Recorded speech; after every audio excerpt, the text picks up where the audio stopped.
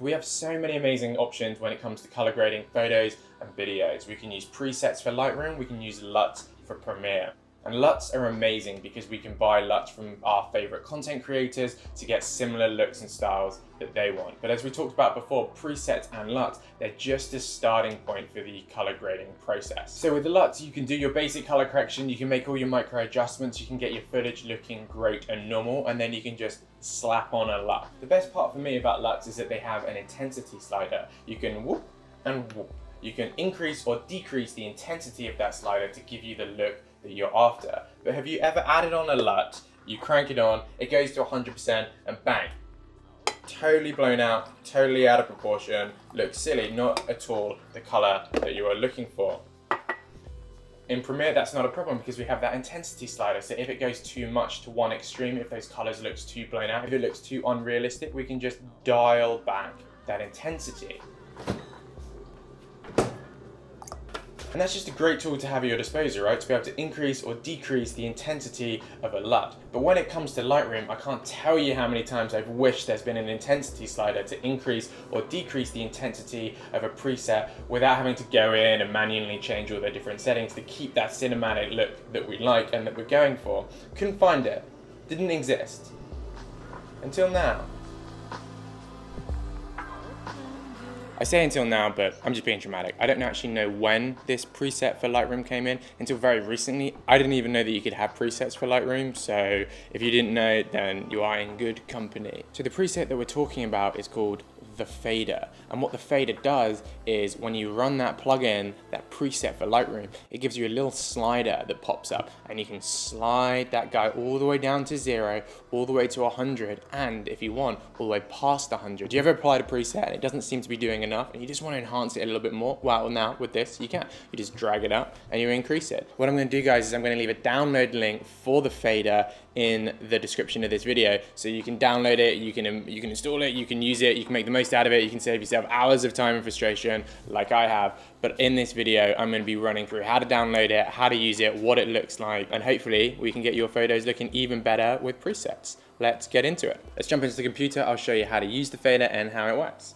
So to get there, all we need to go to is the URL www.capturemonkey.com slash the fader. And don't worry guys, I'm going to be linking this in the description so you can just click it and follow along. You don't worry about having to type it down or anything silly like that. So when you're on the fader on Capture Monkey, you just scroll down and you're going to see it download the fader. So let's install that. I'm working on a Mac, so it might look a little bit different if you're working on a Windows. I'll go to my downloads folder and I can see it has downloaded the fader as a zip. We're just going to extract that. So just to get that set up and installed into Lightroom, all you have to do is go to File, Plugin Manager. You're going to see here it's got some basic plugins already installed. You can see here the fader for me is already installed. You're just gonna hit add and you're gonna navigate to where you saved that plugin in the first place. You're gonna select it and then you're gonna hit add plugin and then you're gonna hit done. And that is it. That is the plugin just totally installed on Lightroom for you. So now let's see it in action. Let's look at this photo of me in a tree. Let's apply a preset first of all. So I'm going to add my subject in nature preset. As you can see, this photo is already pretty dark. It doesn't look too great. So what we can do about that is we can use the fader. I would like this preset. I like the colors it's giving me. I just want to reduce that intensity, right? So I'm going to go up to here, file, plug in extras and then we're going to move over to the fader. We're going to click on the fader. It's going to run it and it's going to do its thing. Now we have to navigate to where that preset is. It's not just going to work with the original one, right? So we have to cancel this. We have to reset now that we know the preset that we want to use. We have to remember the one that we want to use. We have to remember which folder it is in and we just hit reset. So we're starting with our clean photo and we do those same actions again. We go to file, plug in extras and hit the fader. So we go to my presets folder and if you remember my one was subject in nature. And then we can see that's it that's how it looked originally and that is at 100% now where the amazing thing comes in is now that we can reduce the intensity of that preset. And what it's basically doing is it's, it's mapping two images right? It's mapping the the preset image in front and the original image behind and it's just going to reduce the intensity of that preset just to dial it back. But it's doing that very cleverly because it's also adjusting those settings. It's super smart and it's a great great great tool. I cannot recommend it enough. So now let's take a look. If we drag it all the way down to say zero that's with nothing on. That's what the original photo looks like. So now if we drag it back up to a hundred that's 100% of that preset. Now say we apply a preset and it's just not doing enough. We just want to take it just a little bit further. Well, what we can do is we can just mm, crank it up just a little bit more. And you see how it's just intensifying that preset even more beyond 100%, beyond the original preset. It's just adding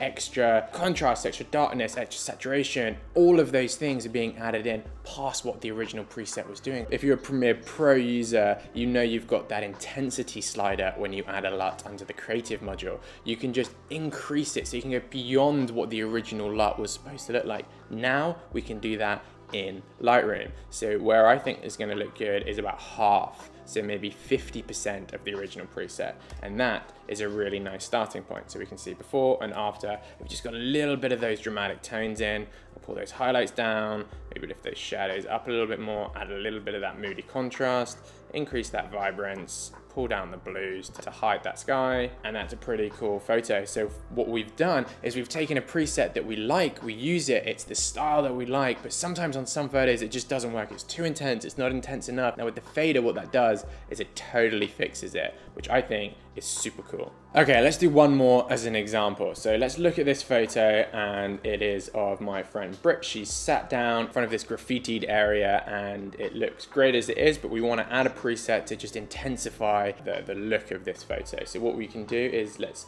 scrub through our presets, see which one kind of looks cool as a good starting point.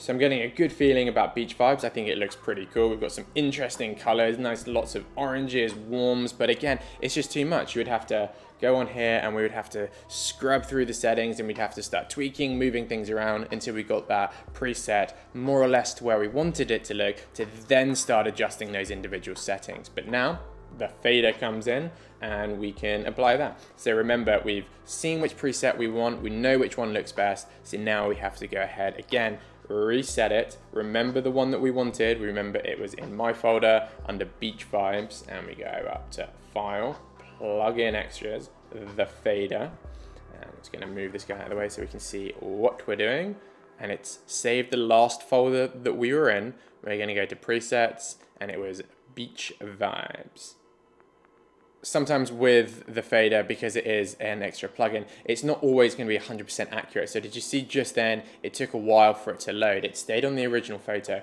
but over here, in the thumbnail preview, the preset had been applied. Now it took me a while to figure out what was going on. Now you can't just click, drag, and let go and expect to see changes. That's the only flaw that I found out with the fader. So if you click, drag and let go of the slider, it's not gonna update in our main viewfinder in our main preview window in Lightroom. But you can see over here in this thumbnail preview, well now that's zero, that has gone down to no preset. But on our main view, you can still see the preset has been applied at 100%. The way to get around that, and this took me a while to figure out, a little bit embarrassing, but I couldn't find anything online, so hopefully this helps you. If you click and hold and drag, just don't let go.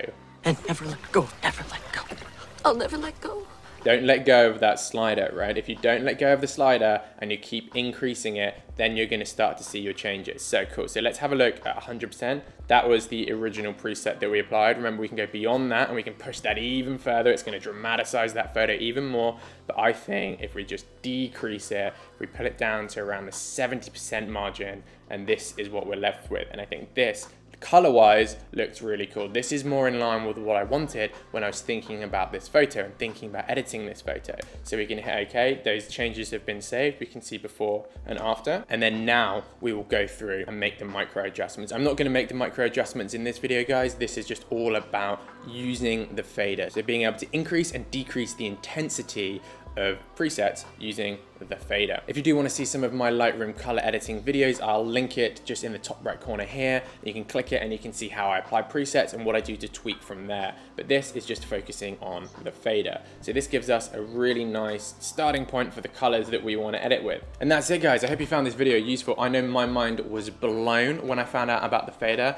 Can't tell you how many times I've applied presets and it's been too dramatic or not dramatic enough and I just wanted to increase the intensity just like you can do in Premiere. I've never once applied a LUT in Premiere and thought, perfect, let's go with that. I've always had to decrease that intensity quite a lot just to kind of get the color look that I'm wanting after I've done my color adjustment but never have I come across anything that can do that in Lightroom and I cannot believe I finally found it and I wanted to show it with you guys. So I hope you found it useful. I hope you use it. Again, I'll include that download link in the video. And if you liked it guys, I'd really appreciate it if you'd give this video a like. Consider subscribing if it's something that you're into. If you want to learn about photography, videography, editing, color editing, all of that kind of good stuff, subscribe to the channel. I'd really appreciate it and I'm sure you'll get something good out of it as well. And I will see you in the next video.